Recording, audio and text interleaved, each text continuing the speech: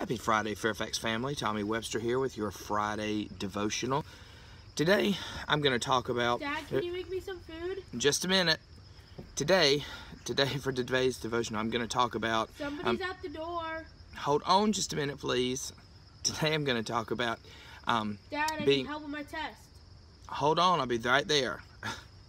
Today, I'm going to talk about being too busy and being called all the time. I saw my phone light up and I happened to cringe because it was a friend of mine that I haven't seen in a while.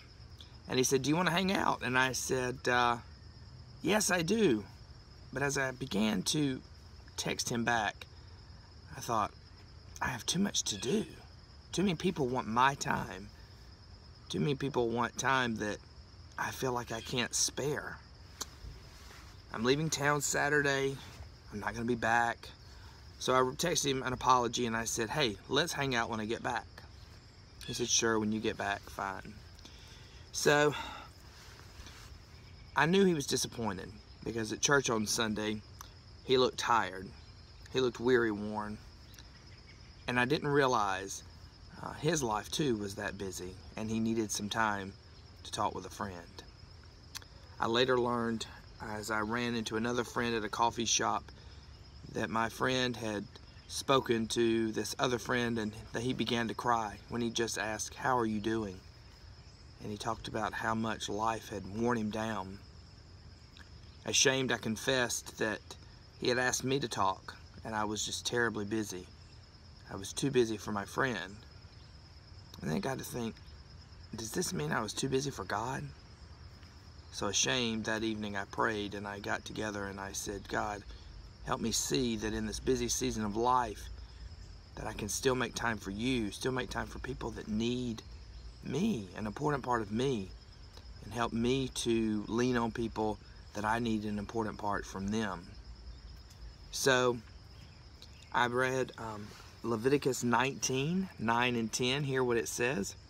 It says, When you reap the harvest of your land, you shall not reap your field right up to the edge Neither shall you gather the gleanings after your harvest, and you shall not strip your vineyard bare, neither shall you gather the fallen grapes of your vineyard.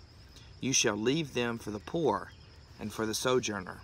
I am the Lord your God. That's Leviticus 19 again, 9 and 10.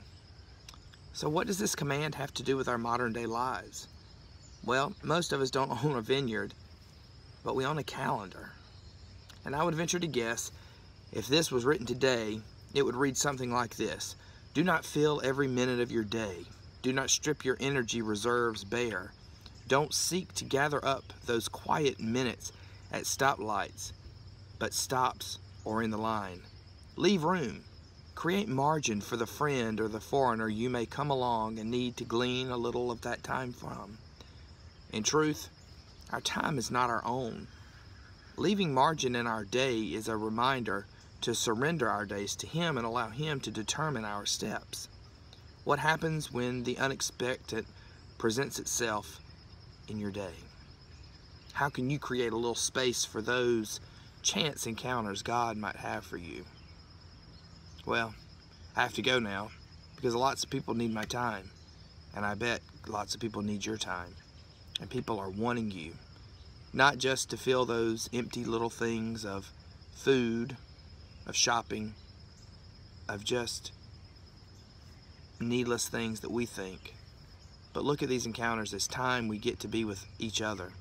Somebody may need that time with you because they love you and because you can fill a void that no one else can and help them to see that God can fill a void that no one else can. Let us pray. Father God, your heart beats for the hurting and broken you long to use us as ambassadors of your love.